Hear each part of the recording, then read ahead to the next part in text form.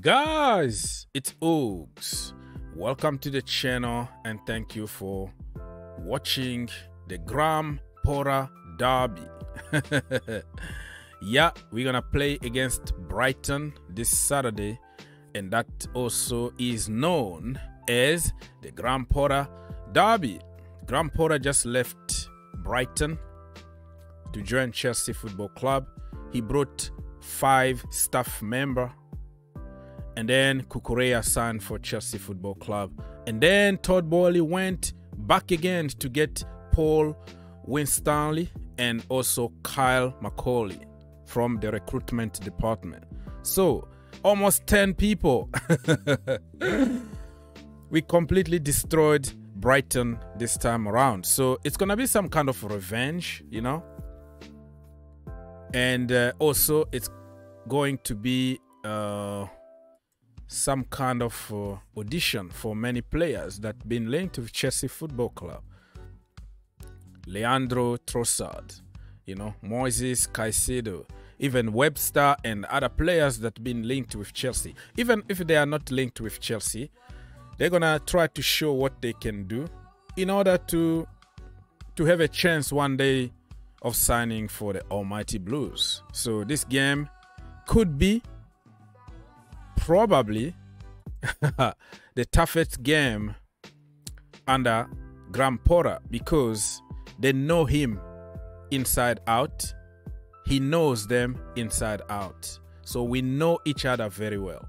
So this game, my friend, get ready, okay? Get ready because it's going to be some sensational football here. And um, Brighton are the the only team that got more possession against Manchester City. Not only this year, it's been for you know the past couple years that they always got the ball more than Manchester City, but that is not important at the end because they most of the time they end up by losing anyways. But I wanted just to tell you that this team with De Zerbi, you know the new manager, they haven't won any game of football so far, so they're gonna try to win against Chelsea.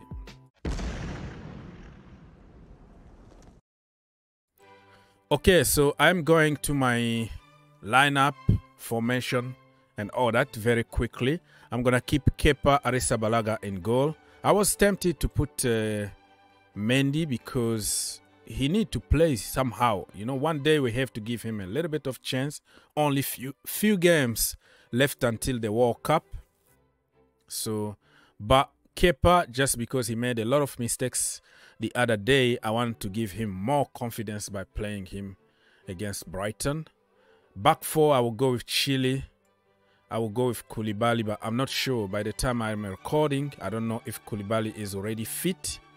But I don't want to play Thiago Silva. That's why I put this question mark here because it's better to keep him safe than lose him for a month. And he might lose uh, or he might miss the World Cup if getting injured. Remember, uh, the last game against Salzburg, he he had a very bad fall, and everybody was afraid, but he was okay until the end.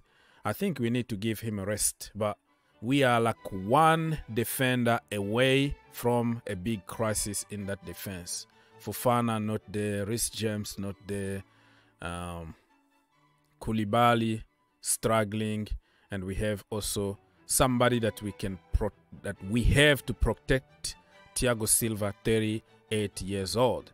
Chalobah need to be there because when he's there we don't lose. Fingers crossed we don't um, we don't break that record on Saturday against Brighton. In the midfield I will go with uh, Kovacic who was very very good the last game. And I will go with uh, Ruben Loftus-Cheek three men behind the main striker is gonna be Christian Pulisic and um, Gallagher and also Mason Mount. In front, I will go with uh, Broja. But the way I see it, Todd uh, Todd Boehly, Graham Potter is gonna go with experience here. Okay, he doesn't want to lose against his former club. I think Aubameyang is gonna be there. Sterling is gonna be there. Pulisic probably out. That is the reward that he always got at Chelsea Football Club after every wonderful goal, uh, goal or assist or a great game. He always get punished. He's gonna be benched. So um, I think he's gonna be there. Thiago Silva might be forced to be to be there um, because oh my goodness. And Jorginho Frello, how can you even mention Ruben when when Jorginho Frello is there? So that was my lineup, but also what I think the manager is going to do because it looks like certain players are untouchable.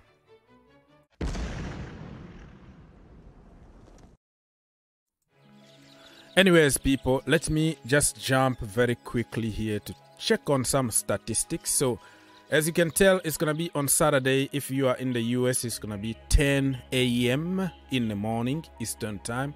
But if you are from the Pacific time, the Los Angeles era area, I think it's gonna be very early, probably six o'clock or something like that, or even yeah, in the morning. So put your alarm and find out your location. Let's see what is going to happen. If we go to statistics here, in the last few games, you can see 1 1, 1 1, 0 0. Chelsea won away uh, 3 1 and 1 1. So, most of the time, been draws, a lot of draws, and one win, which was Chelsea winning away in 2020 uh, Amex Stadium. It was in September. That was long time ago. We don't beat them because they are so good. So hopefully we can beat them this time around. And uh, yeah, the last time at the bridge, it was heartbreaking. That header, I think it was from from Webster. Adam Webster was the man of the match, as you can tell here. Here, Graham Potter was um, was their manager. He's our manager now.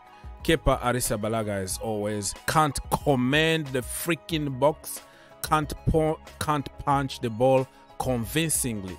That is the biggest weakness of Mr. Kepa Arrizabalaga, man.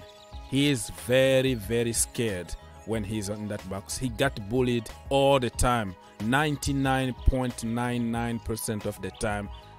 He can't catch the ball, he can't punch the ball properly. It's awful. So we have to protect him and try to um, try to, to win this game. Danny Welbeck. The problem here is that every time we play those so-called smaller teams, they perform to the next level. Prime Barcelona under Guardiola or something. Oh man. At the bridge last time we played them, we know what happened. So and we had Kante. We had all our big guns, but at the end we ended up by drawing the last minute. Tariq Lamptey might be there, our own brother, through and through, academy product. And we're gonna have also um, Billy Gilmour. Billy Esther is not really playing. He's not having enough uh, playing time now because we have Caicedo in the midfield and also the other guy, I forgot his name. So, um, man, it, it's gonna be a tough, tough, tough game. Probably the hardest game for uh, Graham Potter, but that's what people been saying. Oh, Milan is gonna be the toughest game. Boom, we beat them twice. Oh, Salzburg, the biggest game. Boom, we beat them. So we are beating people for fun. We are drawing every time we draw. People wanna kill uh, Graham Potter. So just imagine the first defeat is gonna be a tsunami in the Chelsea community because we we need a, a, manager that will win every single game and will win every single trophy. That is uh, what uh, Graham Potter needs to deal with in the Chelsea community. Online, of course, but for people really who understand football, they know we're gonna lose games. They know he needs time to work they know that we are in a good way and uh, we are improving. So, people, my score prediction is going to be 3 2 to Chelsea Football Club. Yeah, it's going to be a high scoring uh, game.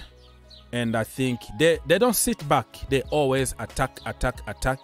They're gonna score first, and they're gonna test our, you know, our mentality. We're gonna show some character. We come back one-one. They score the second goal. We equalize, and then we score the third goal in the last minute. Christian Pulisic to score. I think Christian Pulisic to score if he plays, of course. Mason Mount to score and Armando Broja to score. Leave your comment and let's keep the conversation going.